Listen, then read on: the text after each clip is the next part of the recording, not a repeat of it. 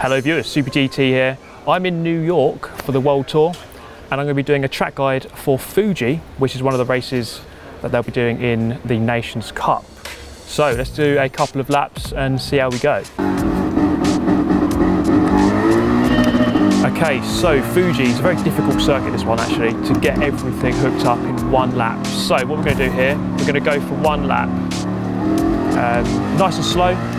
I'm slow anyway, but we're going to go for a, a slow lap and I can point out a couple of different things that you're looking out for on the track to mainly to get your braking right. This track really is important in terms of your braking points, especially coming into turn one, which you're coming up to here. So you can see on the left hand side, let the ghost go. So you've got the big uh, braking markers on the left hand side on the wall. The cones are there to help me as well. But you're braking on one 150 board going into this first corner. And then you get nicely hooked up to the apex. You've got to be really patient. And then on the exit, you've got a lot of this around this track, the AstroTurf. You do not want to go on it. As soon as you're on that, you've got no grip, you're sliding wide forever. So absolutely avoid that at all costs. Second corner, or turn three officially, uh, looking for the 100 board, and you, you have to really use a lot of that curb on the inside.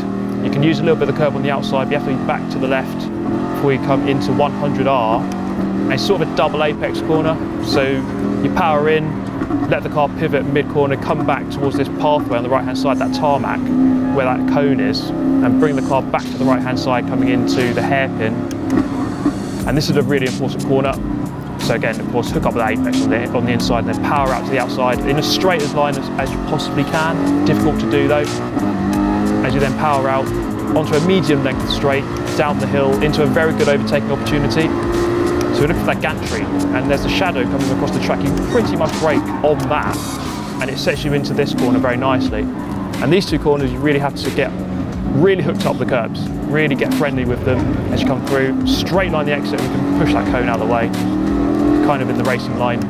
And then this final section is really difficult because there's so many different variations of possible lines you can take through here. So normally you're going to go out wide for this one, and then come back for a very late apex and then straight line the power as you come towards the final corner. And again, you're going to go deep, cut back. So a theme is developing around this track, which is straightening up the exit so you get good power onto the straights.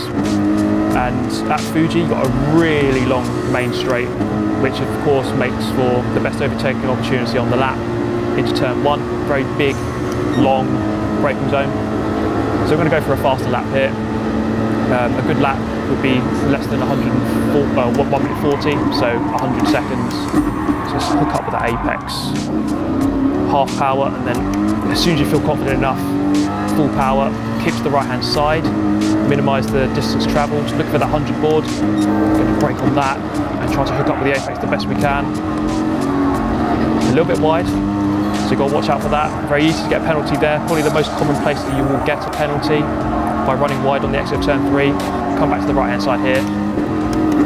I think I've braked a little bit too late there as we hook up with the apex, kind of. And again on the power nice and early. Good overtaking opportunity down here. So if you get that corner wrong, you may well have to defend coming down the hill towards turn 10. On the brakes, nice and hard. And again, really make the most of this curb. You can get all over that. And this one here, kind of miss it. But this one, definitely straight line that. Straight line, again, on the power. Make sure the car doesn't slide on the way out of the turn. Pick up with this curve all the way through. And at the end, we've got to make a massive mistake there. Uh, so you don't want to do that. So that's an example of exactly what not to do. Hold on the brakes into turn 10. Again, two tenths up, down to second, down to first gear there, but I think you only need second. Although you can use first gear to kind of pivot the car through there, straight line the exit. We need to really nail this final sector if we want to get below 1 minute 40. doors in five minutes. Hooking up with the curb here. Easy to go deep, and we kind of have done a little bit, but we can come back for that late apex on the power as early as you can. You can use quite a lot of the curb on the exit, and then into the final corner. The final turn on the circuit. Very important this again, it leads out onto the very long straight. So it's crucial that you get that one right. And we are 1.7 seconds up on our PB, so that is going to be a 1 minute 39 point something. We'll find out in just a few seconds as we cross the line. So there we go, 39.5. A solid lap around Fuji. Of course, not as quick as the, the pro drivers here, um, so they probably don't uh, need all of this advice, they probably know it. Um, they probably know all of this, they practice this circuit so many times. Um, but there we go, that's a lap of Fuji circuit. So maybe follow a couple of these tips and you might be able to improve the lap time a little bit, but if you're a pro driver already, probably ignore it.